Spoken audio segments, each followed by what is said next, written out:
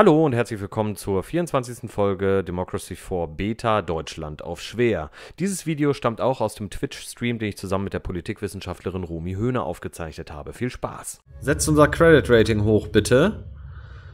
Rudolf Möller möchte wieder die Quoten eingeführt haben. Können wir sie, können wir sie ihm jetzt geben? Weiß, ich glaube, wir haben. Er ist sehr unglücklich wir können, wir können es im Hinterkopf behalten. Unemployment krass gesunken wegen unseren Sachen. Das ist großartig. Ähm, ich würde auch gerne auf die Produktivität gucken. Ah, steigt nicht so sehr, aber bleibt gleich. Und wir haben wieder ein Dilemma. Positive Diskriminierung. Also Jetzt haben wir, wir haben einen Gesetzentwurf, den wir, den unser Minister empfängt, äh, äh, empfiehlt, aber wir haben gleichzeitig ein Dilemma, wo wir kein politisches Kapital ausgeben. Ähm, hier wird auch gefordert, dass man Quoten einführt für ähm, die Anstellung von äh, ethnischen äh, Minderheiten oder anderen Minderheiten äh, in großen äh, Unternehmungen oder auch in äh, Regierungsorganisationen. Da war die Möglichkeit, das äh, Gesetz durchzu, ähm, äh, zu verabschieden und ähm, oder wir können es ablehnen. Ich bin hier an dieser Stelle für die Gleichberechtigung. Wir sind mittlerweile in einem egalitären Land angekommen mit unseren ganzen Politiken, die wir gemacht haben, dass ich auf Pass the Law drücken würde hier. Ich finde es übrigens auch ganz spannend, dass es nicht nur um Unternehmen geht, sondern auch um Regierungsinstitutionen ja. und Organisationen. Ähm, auch da ist es ein spannender Blick, wie diese zusammengesetzt sind und äh, welche Personen, welche Altersstrukturen, welche Geschlechtsstrukturen, welche Herkunftsstrukturen es dort in den unterschiedlichen Ebenen gibt. Ja. Ähm, ich bin immer nicht so ein Riesenfan davon, solch, sowas in Gesetzesform zu gießen, weil ich die ganze Zeit dann wieder überlege, wie setzt man das dann um und wie kann man das dann eigentlich irgendwie halbwegs machen, weil es in bestimmten Bereichen einfach immer noch nicht genug Leute gibt, weil bestimmte Menschen den Hochschulzugang nicht haben oder die Chance nicht haben, überhaupt in diese Position zu kommen, dass sie ausgewählt werden. In diesen, in diesen Führungspositionen. Aber auch da wieder, wir haben hier nur schwarz oder weiß und deswegen bin ich bei äh, Pass Law. Sehr gerne. Oh, Konservative finden das richtig doof. Aber so ist das halt. So, wir behalten ihn hier im Hinterkopf. So, wir haben, wir müssen Wahlversprechen abgeben. Unser Defizit ist wieder leicht gestiegen, äh, äh, leicht nach oben gegangen. Die Weltwirtschaft sinkt ab unser Bruttoinlandsprodukt Produkt bleibt gleich. Das ist so faszinierend. Und wir stehen so eine Runde vor der Wahl. Ich bin wirklich stolz auf uns, dass wir diesen, diesen Knick so abgewandt haben und jetzt irgendwie nur gucken müssen, bis irgendwann mal unsere Zinssätze sinken. Ja, also gucken wir uns Wahlversprechen an. Also wir sind fanatische Supporter, haben wir äh, sehr, sehr viele. Ähm, Wahlversprechen. Ich weiß gar nicht, ob wir hier, ob wir, ob es sich, ob es sich lohnt, groß mit den Wahlversprechen hier uns noch einen Kopf drum zu machen, weil unsere Zustimmungswerte sind 100 Prozent. Ja, und die meisten Sachen haben wir auch schon übererfüllt. Also wir hatten ja bei der letzten Wahl schon das Problem, dass wir nicht um 25 Prozent erhöhen können, wenn wir schon bei 80 Prozent sind. Richtig. Und äh, insofern könnte ich damit jetzt auch gut leben, ohne Wahlversprechen voranzuschreiten. Ja, wir müssen unser was am Defizit tun. Wir müssen was am Defizit tun. Und ich hätte jetzt gesagt, Na, können, so. Nee, das Ding ist, wir können irgendwann nichts mehr am Defizit wirklich machen, wenn das Defizit vor allem darauf beruht, dass wir so unglaublich viele äh, Zinsen zahlen müssen. Ja. Also wir können jetzt gucken, wie wir, wie wir das Bruttoinlandsprodukt irgendwie stabil halten. Wir können gucken, wie wir in die Wirtschaft so investieren, dass wir davon in drei, vier, fünf, sechs, sieben Jahren, Wahlperioden, wie auch immer, auch was dafür haben. Aber irgendwann ist, ist quasi der Hase kaputt gespart, wenn wir nicht wollen, dass es langfristige Folgen hat, negative. Hm. Das ist so ein bisschen die Wirkungslogik. Und Ja. vor allem unintendierte Wirkungen, die dann durchaus auftauchen können. Ja, ich hätte jetzt, ich hätte jetzt gesagt, lass uns mal etwas anfassen, wovon ich auch irgendwie ein Fan bin, äh, ähm, und zwar, das wäre die Erbschaftssteuer. Da, die ist hier sehr, sehr niedrig ei- eingeschätzt. Ich glaube, neulich kam eine Statistik raus, dass, dass wie war das? 40% des gesamten, des gesamten Vermögens wird vererbt mittlerweile in Deutschland. Ich habe keine Ahnung. Ähm, ich also, ich habe manchmal auch das Gefühl, diese Debatte geht so ein bisschen an meiner Lebensrealität vorbei. Hat aber vor allem was damit zu tun, dass ich aus einem Arbeitshaushalt in Ostdeutschland komme. Und wir, da gab es so ein paar Umbrüche über die Jahre. Und da, naja, Ja, Volkseigentum und so. Ja, genau. Ich hätte jetzt gesagt, wir, es lohnt sich eventuell die Erbschaftssteuer anzufassen. Ähm, Ja, die, die Reichen mögen uns sowieso schon nicht. Das ist auch schon. genau, aber das bringt uns kaum was. Also 1,3 Milliarden äh, auf 1,8. Okay, 500 Millionen. Aber wir geben auch 15 politisches Kapital aus. Das ist, äh, würde ich jetzt Wiedervorlage diese Runde. Ist gar nicht so viel Potenzial da, leider. Ja. Wo vielleicht was ist, ist die Finanztransaktionssteuer. Ja. Da Das, ah, das wirkt ist, sich. Da müssen wir halt gucken, dass sich das nicht zu negativ auf unser Bruttoinlandsprodukt oh ja, sehe ich auch gerade. Ja, es hat einen direkten Einfluss auf das äh, Bruttoinlandsprodukt. Äh, tja. Okay. Alkoholsteuer. Klassiker?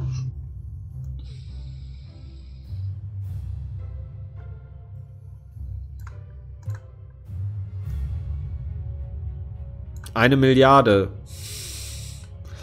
Aber die Armut steigt einfach mal um 4%. Ja. Wir hatten, als wir diese eingeführt haben, äh, schon mal diese Diskussion, dass ich so auch so ein bisschen schwierig fand, dass es sich vor allem um die Armut, also es könnte ja das Einkommen von allen sein. Das wäre halt eine faire Darstellung, aber so wird es halt direkt zugeschrieben zu einer bestimmten Bevölkerungsgruppe in dem Spiel. Ja. gefällt mir nicht so richtig. Aber davon mal abgesehen wäre dann die Frage, ob dann, wenn wir jetzt die zu hoch machen, ob die Leute dann nicht anfangen selber zu brennen und das dann schlecht für unser Gesundheitswesen ist. Ja, einmal Aber das und äh, abgesehen davon, wenn wir sie so hoch setzen, sorgt es dafür, dass der Gewinn, den wir dadurch bekommen, auch immer niedriger wird, weil der Alkoholkonsum stark zurückgeht. Also lassen wir das einfach so stehen und fröhliches Trinken, also nicht ganz fröhliches Trinken, aber Spaß. Ja. Ich hätte vielleicht drei eingesetzt, um 250 Millionen zu bekommen. Ja.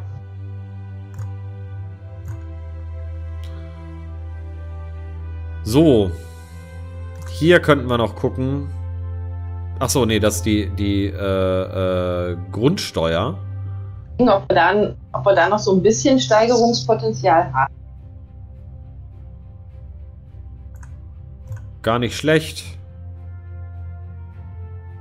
So ein Tucken für 1,5 oder 1, ja, 1,3. Finde ich Milliarden? Und äh, wir haben halt auch die Einkommenssteuer runtergesetzt. Insofern ist es halt wieder so ein Element, das so ein bisschen vielfältiger auszudifferenzieren. Ja. Also das könnte ich mir gut vorstellen. Mhm. Tja. Hier hätten wir noch die, die Villensteuer.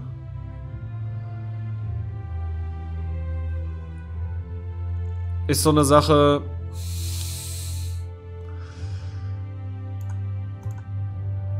Ja, eine Milliarde könnten wir drauflegen. Ja. Ja, das können wir machen. Wir müssen halt nur gucken, dass wir die, die Leute mit viel Geld auch nicht zu sehr abschrecken, nicht, dass die uns wieder abhauen und dann die Investitionen in unserem eigenen Land runterleiden.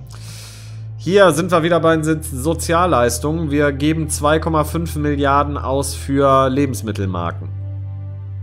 Runtergehen, das liegt aber daran, äh, dass sie in anderen Bereichen super viele Förderprogramme haben. Möchtest du runtergehen oder möchtest du es abschaffen? Ich würde runtergehen. Ich würde es nicht abschaffen wollen.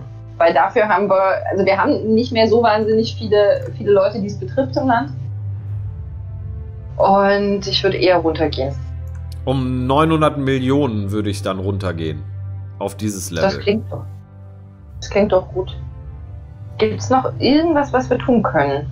Ja, ich, äh, was mir eingefallen ist, äh, der, der, nationale, äh, dieses Business Council ähm, könnte man hochsetzen, um, den, äh, um das Bruttoinlandsprodukt langsam auch nochmal zu boosten. Ein klein wenig find Ausgaben. Ja, das finde ich gut. Aber ja, es ist 0,3 Prozent, aber für 100 Millionen ist das nicht schlecht. Das dauert halt auch eine Weile. Ja. Aber ich finde es trotzdem grundsätzlich gut. Insofern klar. Und dann hatten wir noch das Trade Council. Wo ist das denn? Das wäre vielleicht auch eine spannende Sache. Hier. Ach, das haben wir schon volles Met hochgesetzt, wegen International Trade. Gibt es bei der Produktivität noch irgendwas an äh, irgendeinen Regler, an dem wir spielen können, oder sind wir da so langsam ausgereizt? Ich gucke mal. Produktivität.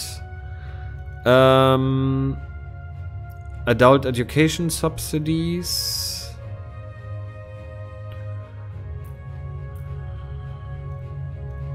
Und den Mutterschutz würde ich halt nicht anfassen. Nee. Der technologische Vorteil, den wir immer noch haben. Hier könnten wir durch Techno äh, Technologieförderung könnten wir noch was tun. Oh, und der hat auch einen direkten Einfluss auf die Arbeitslosigkeit. Dann lass uns das doch ein Stück hochnehmen. Wenn wir eine Milliarde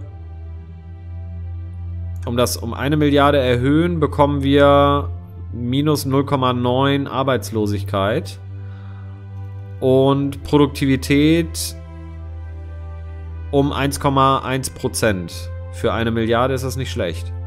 Sollten wir da vielleicht sogar mehr machen. Ich würde sogar fast mehr nehmen. Wir müssen halt, äh, wir wir wissen ja, dass die Weltwirtschaft irgendwann wieder hochgeht. Ja. Also, also wir können gerade nichts anderes machen, als uns darauf vorbereiten. Also 1,4 Milliarden mehr. Wir bekommen minus, äh, minus 1,3 äh, Arbeitslosigkeit und Produktivität geht um 1,6 Prozent hoch. Finde ich super. Ja, ich auch. Äh, gucken wir mal weiter. Was gibt's hier noch? Tja, Working Week. Achso, das ist ein Effekt, den wir auch nicht beeinflussen können. Ähm, Workers on Boards.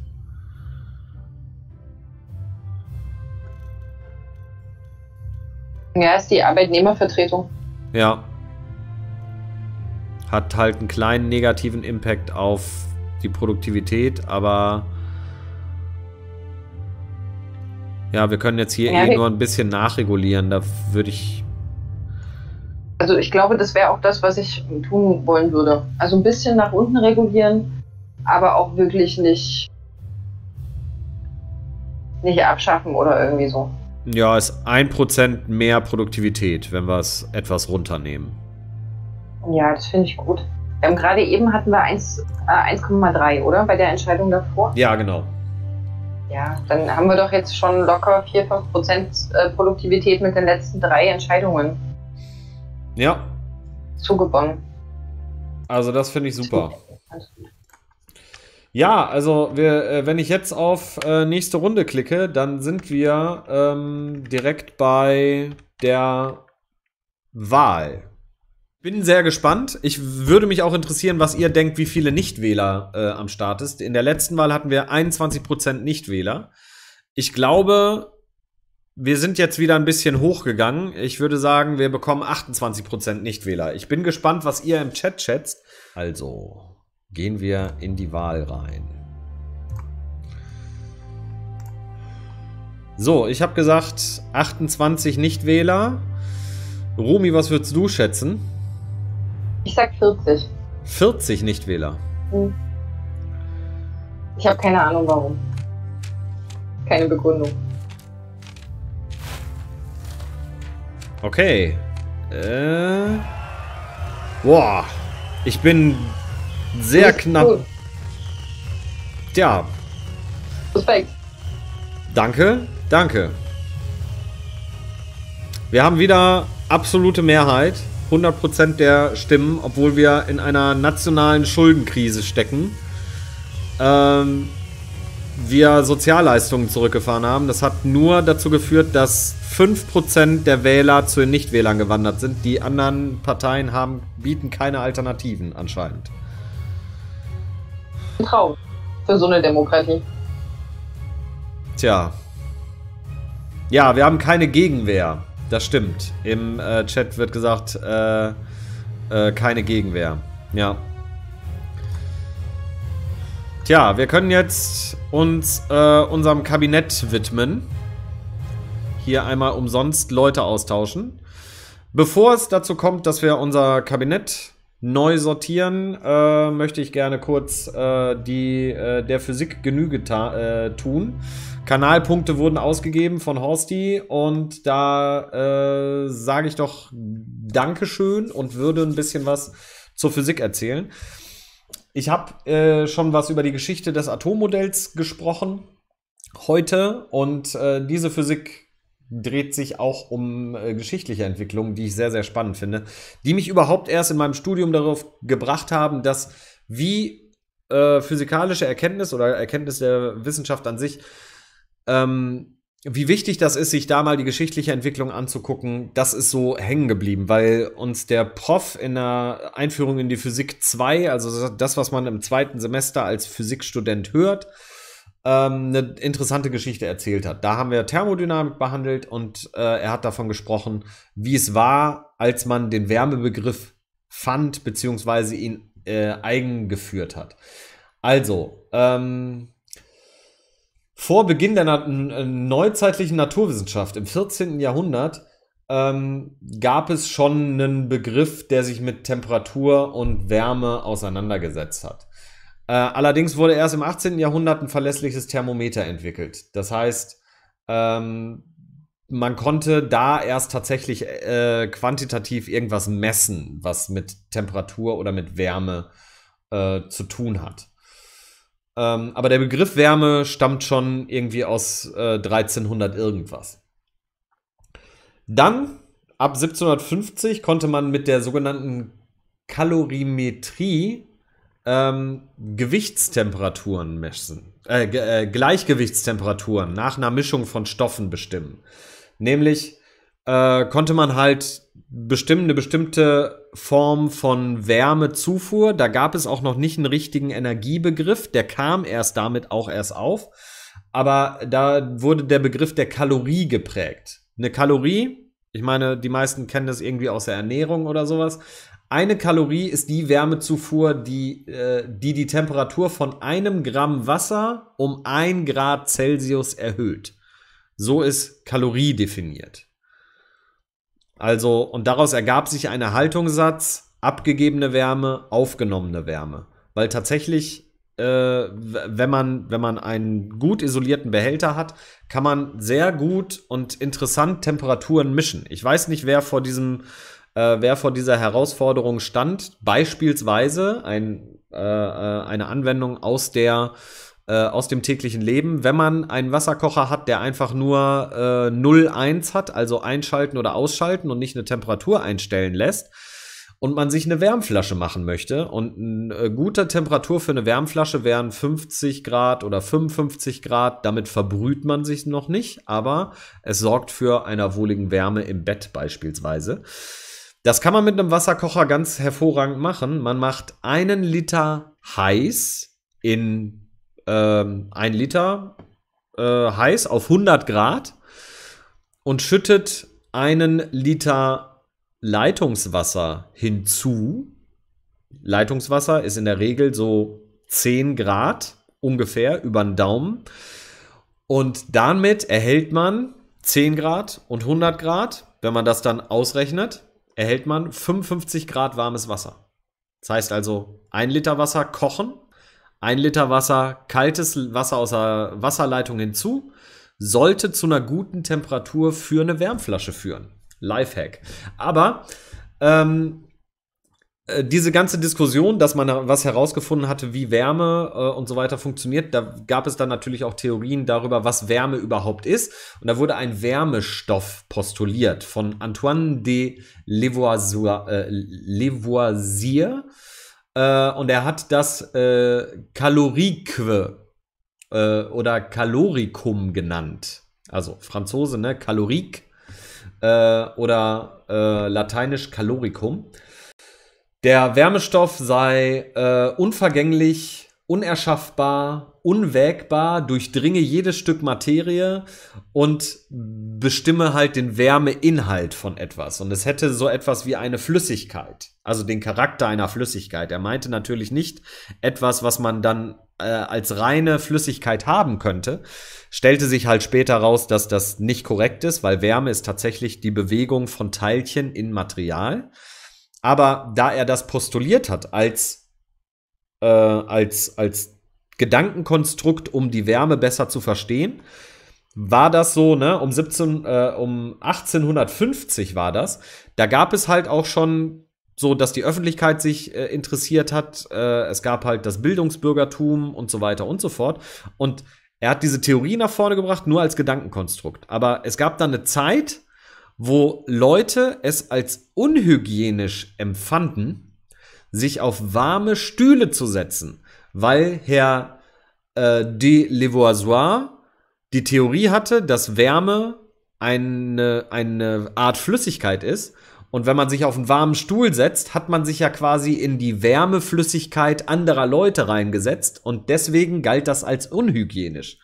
Das war kein langer Trend, aber tatsächlich gab es diese Überzeugung. Und Wärme äh, äh, und diese ganzen Begriffe wie Wärmemenge, Wärmeenergie und spezifische Wärme, die heute noch in der Physik benutzt werden, kommen aus dieser Theorie heraus. Weil es gibt zwar jetzt das genaue Wissen, wie Wärme genau funktioniert, dass es nur Bewegung von Teilchen ist untereinander, dass so Wärme vermittelt wird aber dass es keine eigene Flüssigkeit ist. Trotzdem stammen diese Begriffe aus dieser Theoriebildung, wo Wärme tatsächlich eine Art Flüssigkeit war. Und kurze Zeit dachten die Menschen, dass es unhygienisch ist, sich auf warme Stühle zu setzen. Das war die Physik. Ich habe eine kurze Umfrage für den Chat. Gibt es irgendwen, der es unangenehm findet, sich auf einen warmen Stuhl zu setzen? Also wenn jemand anders davor drauf gesessen hat. Ich, also der, der Hintergrund für meine Frage ist, dass ich überlege, ob denn dieser Herr aus Frankreich einfach nur ein komisches Gefühl dabei hatte. Er fand es einfach unangenehm und hat dann überlegt, woher kommt es denn, dass es unangenehm ist. Ob äh, darauf diese Theorie beruht. Okay, wir haben ein, äh, äh, äh, eine Person, die sagt, ja, es ist unangenehm, sich auf einen warmen Stuhl zu setzen. Ich habe damit überhaupt gar kein Problem. Der Herr Lavoisier hat nicht, äh, also der hat das als Theoriebildung äh, benutzt. Ich weiß jetzt nicht genau, ob er das äh, ähm, nach vorne geschoben hat, äh, dass das äh, als unhygienisch gilt. Ich hab, kenne das nur als Geschichte, dass die Menschen das daraus geschlossen haben. Ich weiß nicht, ob er so auch darauf kam, aber ich finde die Art und Weise, darüber nachzudenken, so wie du das gerade getan hast, eine durchaus spannende. Also ich finde irgendwie würde es mich dennoch interessieren, denn mir geht es auch so. Ich finde es tatsächlich ein bisschen unangenehm und ich kann nicht erklären, warum. Also es gibt, okay. gibt keine Begründung dafür. Nicht mal ansatzweise. Aber ich finde es einfach manchmal unangenehm. Okay, Horsti sagt, er findet es auch nicht gut. Ich habe, also ich habe tatsächlich, ich finde es eigentlich ganz angenehm, sich auf einen warmen Platz zu setzen, besonders wenn mir kalt ist. Ähm. Hm. Interessant, habe ich so also noch nicht drüber nachgedacht. Also habe ich auch noch nie mal die Meinung von anderen eingeholt. Finde ich jetzt gerade spannend. Auch, geht auch nicht um so einen, also keine Ahnung. Ähm, im, Im Auto, wenn der Sitz schon so vorgewärmt ist, dann geht es immer noch, aber so bei oder äh, so an der Ofenbank, so ganz klassisch. Also wir hatten früher, als ich noch klein war, hatten wir einen Ofen in, in der Wohnung oder im Haus. Und es war super angenehm, sich da so draufzusetzen und ranzusetzen. Aber es ist eine andere Wärme vom, vom Gefühl her, ist die von auf einem Stuhl, den, auf dem jemand anders gesessen hat. Es gibt überhaupt keine Begründung dafür. Ich finde es total spannend. Hm. Corona-Zeiten wird jetzt auch gerade angemerkt, ist das vielleicht auch so eine Sache. Ähm, ja, da wir sind gerade noch mal äh, deutlich weiter sensibilisiert für Hygienefragen, aber tatsächlich ist, glaube ich, ein warm gesessener Platz nicht der äh, große ähm, Infektionsherd an sich. Wenn da ein Mensch saß, der keine Maske trug, ist das noch mal eine ganz andere Sache. Ähm, aber ja, die ganze Corona-Geschichte lässt uns über solche Themen vielleicht auch noch mal anders nachdenken. Aber das ist auch ein spannender Aspekt, finde ich. Ähm, was ich auch seltsam finde, und da komme ich jetzt gerade erst drauf, ähm, äh, weil das auch im Chat kurz gesagt wurde, ähm, ich bin jetzt irgendwie am Umziehen und ähm, deswegen auch viel mit dem Auto unterwegs gewesen äh, in letzter Zeit und sowas, auch über weitere Strecken. Und was ich halt tatsächlich sehr unangenehm finde, ist, wenn du auf einer Raststätte einfach mal auf Klo musst und du setzt dich und du merkst, dass die Brille noch warm ist. Das finde ich auch sehr unangenehm, muss ich, muss ich ganz ehrlich sagen. Also nicht, dass ich irgendwelche Hygienebedenken hätte, sondern einfach nur, hier hat gerade vor einer Minute noch jemand anderes gesessen. Ohne dass ich jetzt unterstelle, dass der besonders unsauber war. Aber das finde ich auch tatsächlich unangenehm. Also einfach nur der Fakt, Eigentlich dass ich die Wärme noch spüre. Mhm. Spannend. Hier sind wir auch bei Menschen. Wollen wir uns mal unserem Kabinett widmen? Gerne, vor allem äh, unser Wirtschaftsressort. Äh, Economy. Mhm. Sie ist nicht sehr glücklich. Ja, Kapitalisten, ethnische Minderheiten. Eigentlich eine gute Gruppe. Eigentlich schon, allerdings, auch wenn wir wahrscheinlich auf dem Kompass super viele kapitalistische Sachen gemacht haben, mögen die uns immer noch nicht. Oh ja, auf dem Kompass möchte ich auch auf jeden Fall gleich mal drauf gucken. Äh, ich auch. Ich freue mich auch schon drauf. Ich glaube, wir sind super hart liberal kapitalistisch gefahren. Ja, wahrscheinlich. Also Ilse Allerdings König. in meiner Wahrnehmung nicht. Ja, ja, in meiner auch. Aber ich bin gespannt, was der Kompass dann sagt. Also 0,8. Ich bin mir nicht sicher, ob wir eine bessere finden, aber im äh, Prinzip kostet es auch kein Kapital. Wir könnten sie wieder nehmen. Und danach den Herren für Public Services. Den einzigen Mann, ja. den wir haben. Halt äh, Gewerkschafter und Liberale haben wir die sehr verärgert. Eigentlich nicht, ich bin auch überrascht. Ja. Also Gewerkschafter glaube ich mal so ein bisschen. Ja, das stimmt. Und Transport, Liberale und Eltern. Wenn wir da jemanden finden, der besser reinpasst, können wir da durchaus mal gucken, klar. Wir können ja, sie auch. Wir können sie ja wieder nehmen, genau. Also Ilse Keller, äh, nee, äh, äh, Julia Keller und Ilse König hatten wir da. Ähm, also, gucken wir mal. Also, erstmal Economy, Minister of Industry.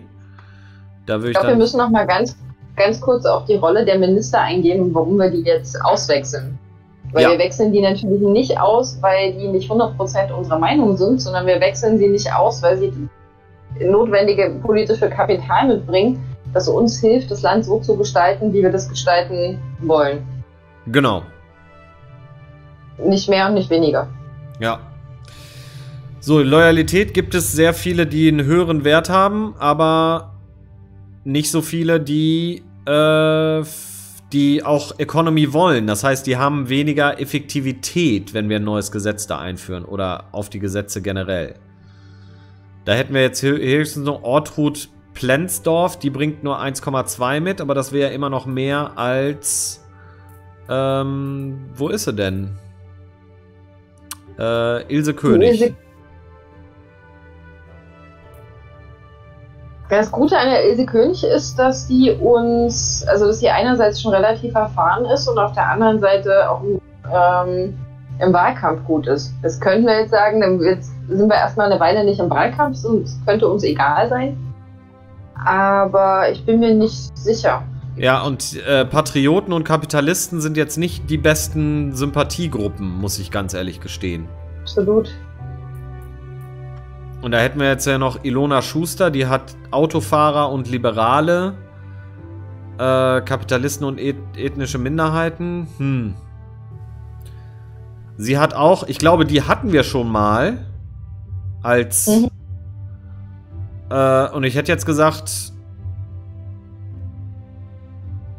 Liberale und Autofahrer ist vielleicht einfacher, als wenn wir Kapitalisten mit dabei haben.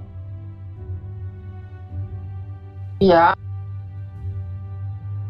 ja, das, das weiß ich nicht. Ähm, die Autofahrer machen wir nicht viel, aber wir machen inzwischen auch nichts mehr gegen sie. Genau.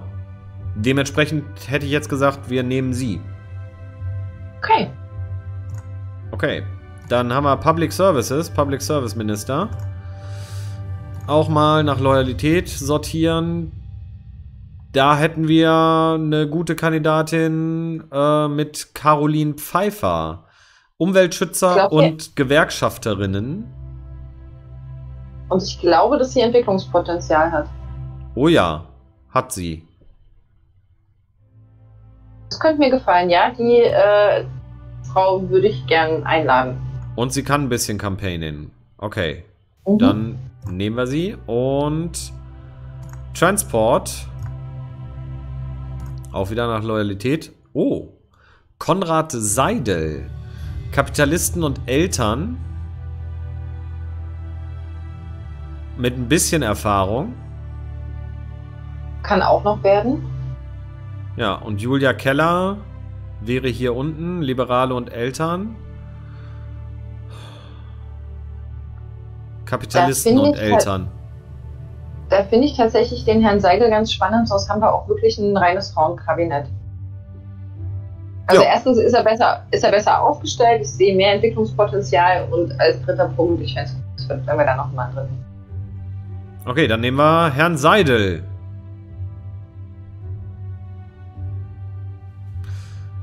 Jo. Ja. Okay. Dann haben wir wieder ein Kabinett, was uns äh, einiges an politischem Kapital liefert. Oh, und wir haben einen internationalen Literaturpreis bekommen, wodurch unser Tourismus nach oben rast. Plus 12. Endlich mal wieder ein positives Ereignis. Das ist großartig. Äh, und ansonsten nix. Ich würde hier direkt mal auf die Arbeitslosigkeit gucken. Die ist weiter gefallen. Das ist super. Nicht so stark wie vorher. Ähm, ja. Defizit 200. Wieder leicht gestiegen. Aber unser Bruttoinlandsprodukt bleibt, obwohl die Weltwirtschaft absackt, bleibt gleich. Also es ist eine... Ist unglaublich. Irgendjemand könnte mal unserer Credit Rating bitte, damit das besser wird. Meine Fresse. Äh, nicht kompetitive Wirtschaft geht wieder ein Stück weit runter. Naja, wir sind immer noch volles Met in der Schuldenkrise und unsere Not Notfall Sachen, Energy Powers, sind immer noch da, weswegen wir mehr politisches Kapital bekommen. Das war's erstmal für diese Folge. Herzlichen Dank fürs Zusehen. Lasst gerne einen Like da und wenn ihr einen Kommentar reinschreibt, bemühen Romi und ich uns darum, beim nächsten Stream diese Kommentare einfließen zu lassen. Ansonsten würden wir uns auch sehr darüber freuen, wenn ihr dienstags mal bei Twitch TV slash andere Lampe vorbeischaut. Da machen wir jeden Dienstag, wie der Name schon sagt, Dienstagspolitik. Einen schönen Tag.